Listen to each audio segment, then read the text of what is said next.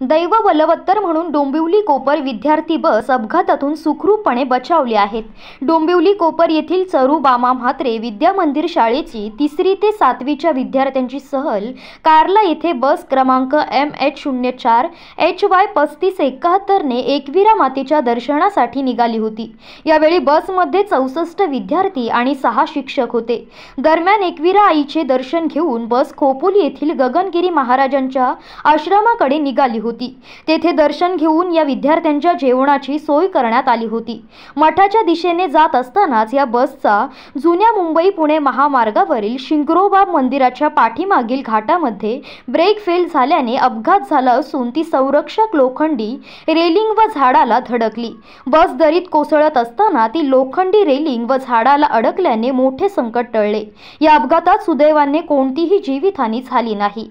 अपघात होताच घटनास्थळी अपघातग्रस्त टीमचे गुरुनाथ साठलेकर आणि त्यांचे सदस्य खोपोली पोलीस यंत्रणा देवदूत team I R B patrolling team Maharashtra सुरक्षा जवान दाखल झाले व त्यांनी बसमधील विद्यार्थ्यांना रुग्णवाहिका तसेच वेगवेगळ्या वाहनातून खोपोली येथील गगनगिरी महाराज मठात सुरक्षित सोडले. या अपघाताबाबत अपघातग्रस्त टीमचे गुरुनाथ साठलेकर यांनी अधिक माहिती दिली आहे.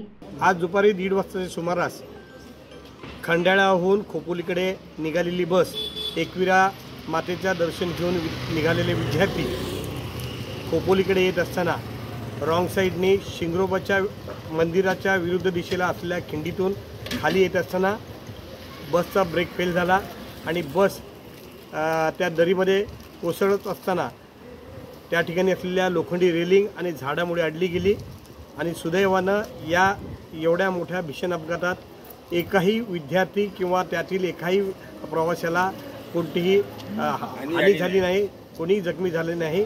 त्या ठिकाणी सर्व खोपोलीतील पोलीस यंत्रणा डेल्टा फोर्स आहे आय आर बी पेट्रोलिंग आहे देवदूत यंत्रणा आहे बोरघाट पोलीस आहेत आपल्या महाराष्ट्र सुरक्षा बलाचे जवान असे सर्वजण त्या ठिकाणी आम्ही गेलो.